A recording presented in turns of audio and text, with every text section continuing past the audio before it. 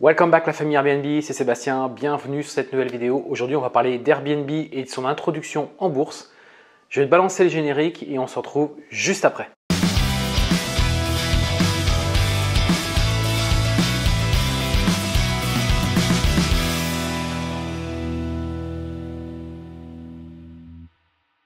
Alors avant de commencer cette vidéo, je vais t'inviter à laisser un gros pouce bleu, ça va me motiver à te livrer toujours plus de vidéos sur cette chaîne YouTube.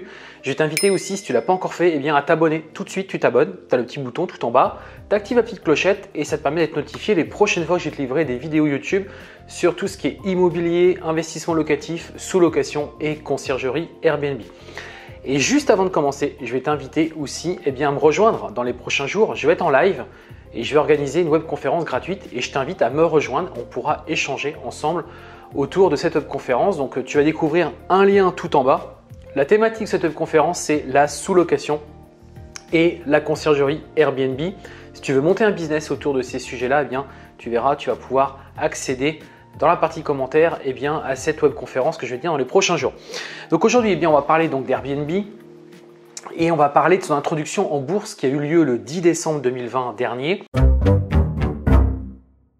Donc une introduction en bourse alors qui est un peu surprenante, hein, euh, qui a surpris pas mal de, pas mal de personnes puisque euh, bah, Airbnb s'est introduit en bourse dans la, finalement dans la pire année, euh, puisque c'était l'année 2020, et l'année 2020 eh bien, est une année où effectivement on a connu donc le Covid avec tout ce qui s'ensuit, les problèmes de, de, déplacement, les problèmes de réservation, la plateforme d'ailleurs a enregistré des grosses pertes pendant cette période-là. Même son cash flow a été négatif pendant plusieurs mois, puisque bah, bien évidemment, euh, plus de réservations, par contre ils avaient toujours des dépenses. D'ailleurs, ils se sont séparés euh, d'une partie de, euh, leurs employés. Ils ont réduit énormément aussi tout ce qui était autour du marketing. Donc beaucoup de, ils sont revenus beaucoup en arrière. Et bah, effectivement, ils n'avaient plus de rentrée d'argent comme ce qu'ils pouvaient avoir auparavant, et donc un cash flow qui était négatif. Et du coup, ça a fait que l'entreprise, bah forcément, euh, tout le monde s'est posé un peu des questions de ce qui allait se passer pour eux, etc. Mais on voit bien aussi que sur le dernier euh, trimestre 2020, euh, eh bien, ils ont une grosse remontée. le cash flow est devenu positif, forcément, puisqu'ils ont enregistré beaucoup de réservations.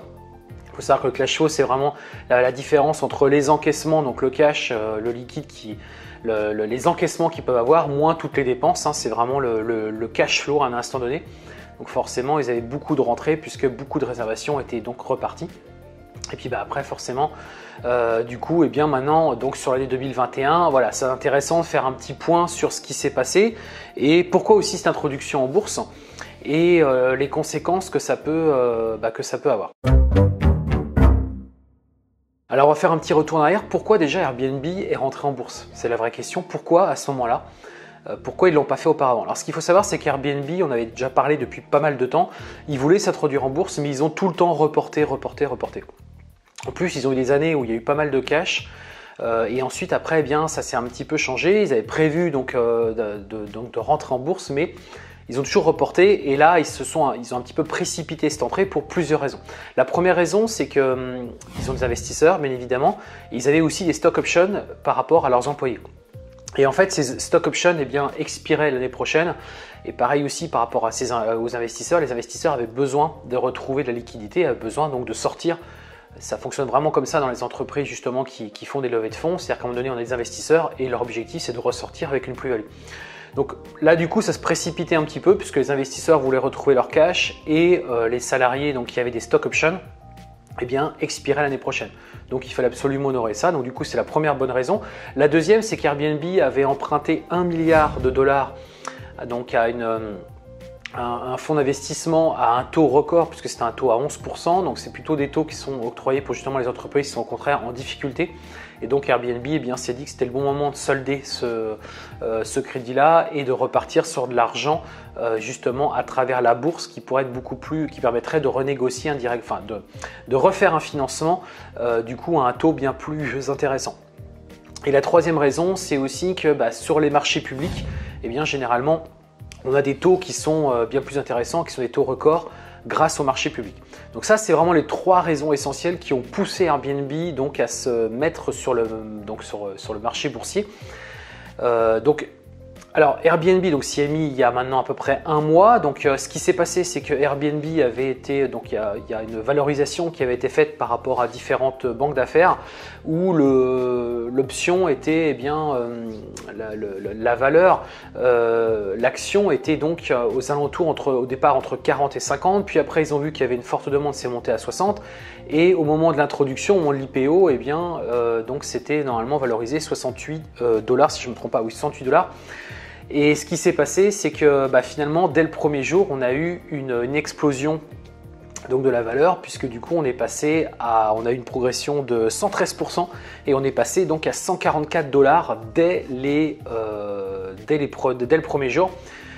Donc là, on va dire, euh, c'est assez surprenant puisque bah, si des banques d'affaires avaient plutôt, euh, elles, valorisé à plutôt 50-60, c'est qu'a priori, c'est plutôt normalement le cours et généralement, ça a été valorisé par rapport notamment aux entreprises concurrentes.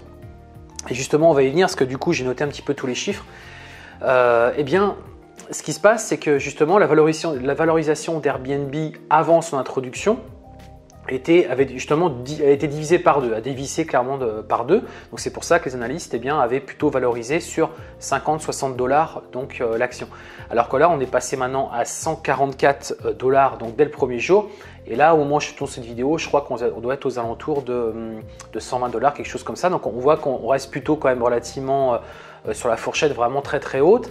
Et euh, les, des spécialistes disent qu'au contraire, il y, a, une très forte chance que le, le titre, eh l'action eh reste à peu près au même niveau pendant encore plusieurs mois.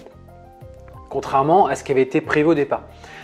Euh, donc justement, c'est intéressant de, se pencher par rapport à ça parce que ce qu'on s'aperçoit, c'est que finalement, une société qui n'était euh, pas forcément très bien positionnée pour euh, attaquer une cotation boursière plutôt à la hausse, eh bien au contraire, se retrouve avec une valorisation de plus de 114%, de plus de, oui, de 113% exactement. Et du coup, on se retrouve eh bien, eh bien, forcément dès le départ à avoir une valorisation très très haute. Justement, on peut comparer ça, et donc là, du coup, j'ai vraiment m'appuie des chiffres que j'ai pu euh, bah, récolter. Euh, ce qu'il faut bien savoir, c'est que ses principaux concurrents sont donc euh, Expedia, TripAdvisor et Booking. pour vous donner un exemple, Booking aujourd'hui est valorisé 86 milliards de dollars. Et eh bien aujourd'hui, Airbnb est valorisé de la même manière, valorisé 86 milliards de dollars. Donc ce qui est quand même assez, assez hallucinant, sachant que si on regarde donc la valorisation de la société, eh bien c'est intéressant de comprendre pourquoi ça a été valorisé finalement 86 milliards de dollars. Le chiffre d'affaires 2020 euh, sur Airbnb, il était de 3,3 milliards de dollars. Euh, sur Booking, 6,7. Donc on voit bien le double, très clairement. Euh, sur 2021, donc des analystes ont fait des prévisions sur 2021. Donc Airbnb va augmenter à 4,2 milliards de dollars, contrairement à Booking qui va lui fortement augmenter, qui va plutôt passer à 10,2 milliards de dollars. Donc déjà, c'est assez surprenant de se dire bah, comment ça se fait qu'une société comme Airbnb est autant valorisée euh, à un cours euh, très très important, alors qu'au contraire, il a un chiffre d'affaires qui certes va augmenter, mais pas de manière aussi significative que, euh, bah, que Booking. Et au contraire, il a même un chiffre d'affaires qui est plutôt bien en deçà de ce que fait aujourd'hui Booking qui est son principal, son principal concurrent, son principal rival. Alors on se dit, bah tiens, on va regarder plutôt la marge. Donc la marge, bah, ça fait à peu près la même chose. C'est-à-dire que sur 2020, on était plutôt à moins 3, moins 3 milliards donc de, de, comment dirais-je de marge sur, sur 2020 pour Airbnb, alors qu'au contraire, on avait pour Booking plutôt bah, du positif, on était à 142 millions. Et sur 2021, donc la prévision, c'est que pour Airbnb, on sera à moins 600 millions, donc on voit bien qu'ils vont, euh, comment dirais-je, revenir vers le, vers le positif petit à petit, donc moins de pertes. Mais euh, au contraire, eh bien, Booking va, eux, au contraire, vont engendrer plus 1,9 milliard de, euh, de bénéfices, de, de marge, pardon. Donc, euh, c'est plutôt surprenant de, de voir ces chiffres-là, alors qu'on a une valorisation qui est identique et qu'on a un cours, on a un cours boursier qui est vraiment bah, plutôt à la hausse par rapport aux prévisions qui avaient été faites. Moi, j'ai envie de te dire, et de manière assez générale, quand une action rentre euh, sur le marché et que vraiment elle aille monter très très haut, à mon sens, il vaut mieux attendre un autre point d'entrée pour rentrer sur ce marché-là. Parce que on est vraiment sur une valorisation qui est très très haute et même si les spécialistes aujourd'hui ont tendance à dire que on va être plutôt resté sur quelque chose d'assez stable, à mon sens, Et on l'a vu ces derniers jours, eh bien, ça, a légèrement baissé par rapport à Airbnb, mais les spécialistes eh bien, restent toujours confiants par rapport à l'action. Et ce qui est intéressant aussi de voir, c'est qu'on se rend compte que c'est des entreprises, donc des, vraiment des startups qui sont sur un, marché euh, bah, qui plaît euh, très clairement, qui, est un marché qui, reste porteur et donc les investisseurs restent confiants sur euh, ce qui va se passer. Mais on sait aussi que tout ce qui est lié au tourisme, au contraire, ne va pas du tout revenir à la normale.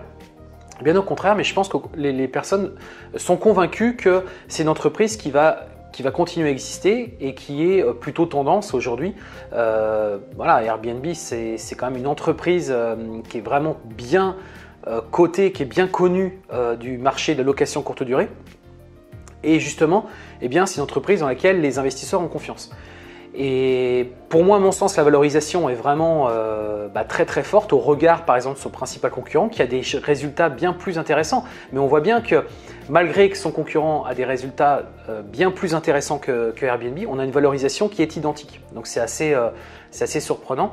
Et moi, je pense que si toi, tu devais chercher aujourd'hui à investir et si tu devais mettre de l'argent et prendre des actions de Airbnb, je pense que ce n'est pas le bon moment, ce n'est pas le meilleur point d'entrée pour rentrer.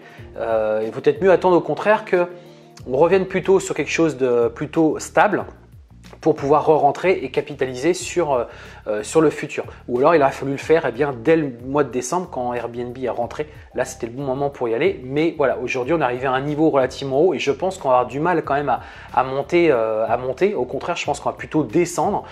ça c'est plutôt ma vision à moi personne, mais je ne suis pas un grand spécialiste et je ne suis pas un analyste financier. Euh, mais je pense que l'action va rester relativement stable sur quand même les, prochains mois. Donc voilà, donc pour résumer, c'est si toi tu dois est-ce que tu te poses, si tu te poses la question, est-ce que je dois euh, rentrer sur, ce, sur Airbnb, sur le marché d'Airbnb J'ai envie de te dire, ce n'est pas le meilleur point d'entrée pour toi. Attends peut-être que les choses se stabilisent ou qu'au contraire que l'action baisse pour pouvoir y rentrer à nouveau. Voilà ce que je voulais dire sur cette euh, vidéo relativement courte par rapport à l'introduction d'Airbnb, l'IPO qui a eu lieu euh, le 10 décembre 2020 dernier. écoute, n'hésite pas à commenter, n'hésite pas à rajouter. Si toi tu es vraiment un spécialiste, bah, n'hésite pas, hésite pas à éventuellement même à me corriger. C'est des choses qui pour toi sont, sont, pas, sont pas exactes. N'hésite pas à, compléter ou à donner toi plutôt ta vision, comment tu vois euh, cette introduction ou pourquoi il y a eu cette introduction aussi. Euh, et puis n'hésite pas aussi à la partager. Voilà, on va terminer. Je te souhaite beaucoup de succès et je te dis à très bientôt.